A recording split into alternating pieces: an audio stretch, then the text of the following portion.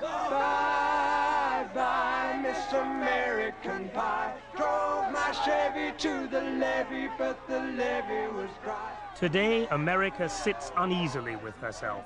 Whiskey and rye, singing this will be the day that I die.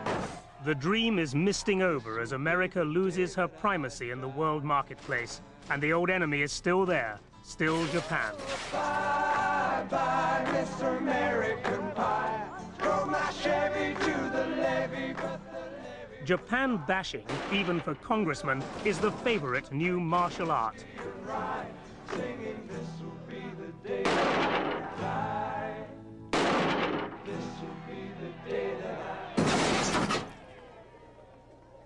Last January, the president himself added to the national embarrassment with a disastrous visit to Japan. The trip had an air of desperation as the most powerful man in the world half bullied, half cajoled the successful Japanese.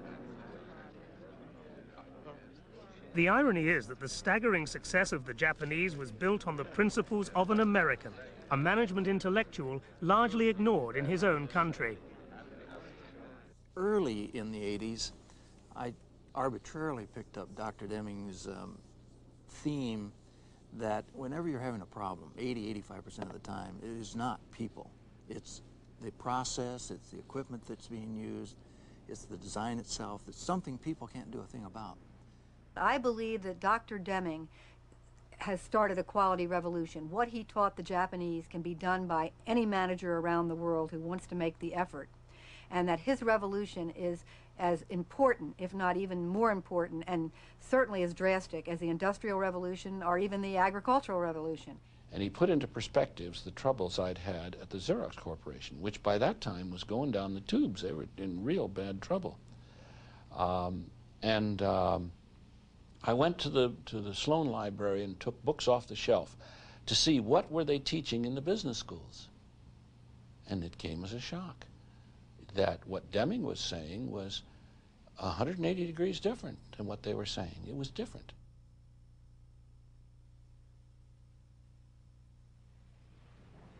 After the war, for a decade, figures showed that we were doing well. We were not. We were doing miserably. And it caught up with us. Style of management caught up. we can't get by with it. Dr. W. Edwards Deming, 91 years of age, has long believed the American dream was a mirage. As the man the Americans sent to reconstruct the Japanese economy after the war, he is the original management guru. His seminars are quasi-religious. He still holds young American managers in thrall throughout four days of the Deming gospel. Responsibility for quality lies at the top. Yet despite his seminal influence on Japan and latterly on America and Europe, it still rankles that his own countrymen have never really understood. People are doing their best. That's our downfall. Doing their best without knowledge. Putting in hard work without knowledge. There's no substitute for knowledge.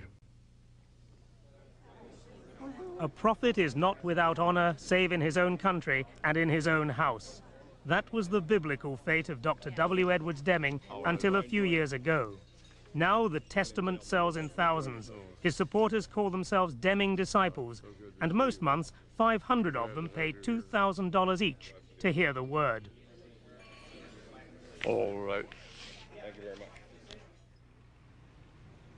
It's typical of this highly paid international consultant that he should choose to live austerely in a quiet Washington suburb. His basement office, the way Hollywood designers would have drawn it in the 1930s, is presided over by his secretary of nearly 40 years, Cecilia Kilian. people that want to see you. Oh, yes. Uh, Admiral Kirkpatrick on 15 February. What he is trying to do is to have President Bush mention you in the State of the Union message at the end of January. President Bush wouldn't be the first. The study is cluttered with accolades from presidents of countries and companies around the world. Deming is a statistician by training.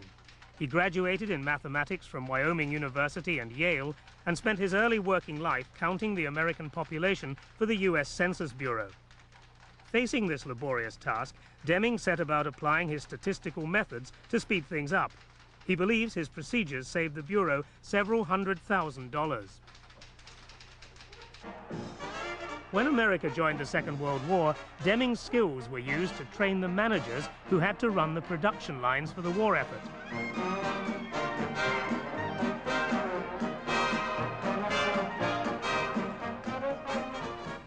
Deming's work methods were based on a rigorous application of statistics. Eliminate waste was a key message. He created a dramatic reduction in scrapping and reworking of scarce raw materials.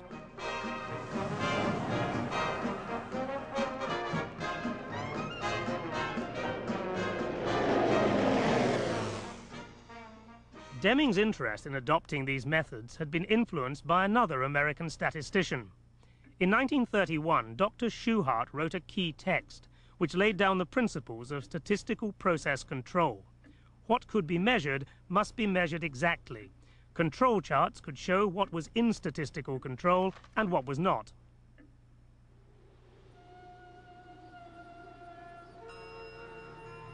The war, conventional and nuclear, destroyed Japanese industry. When the country's young managers approached the task of renewal, they wanted new styles of management. World War II was a triumph of industrial management and production. The grim evidence of the American superiority in those skills lay all around the Japanese.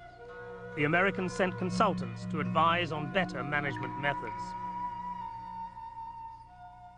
Among them were Homer Sarasohn from Western Electric,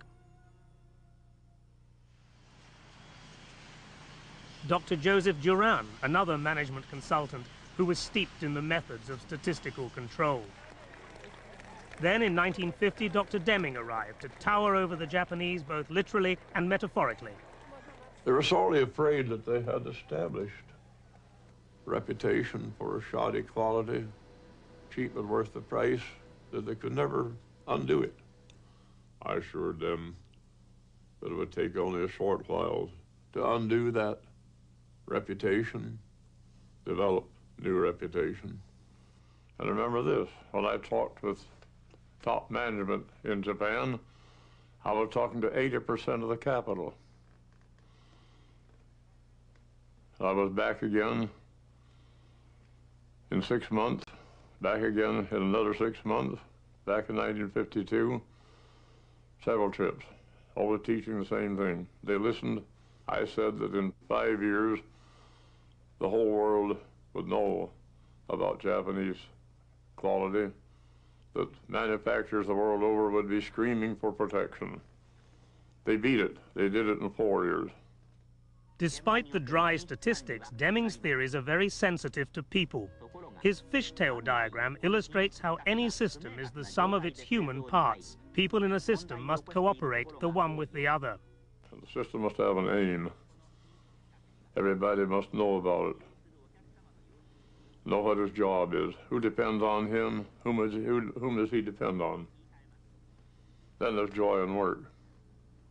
Because you feel you belong, you're important, you're really part of the You, you company. know when you've done a good job and have a chance to do it. That's all people ask for. ただ私がデミングさんの話にプラスしたのはねこれはやっぱりね人間の本質が影響してるどんなにレクチャーしたって どんなに指導をうまくしたってどんなに本を読ましたってダメなのだ。から人間の品質管理をすべきであるというのは僕の考えなんですよ。人間の品質管理をやるべきである。で私はこれを始めたわけです。人間を含めての品質管理っていうのをそれからずっとやりましてね。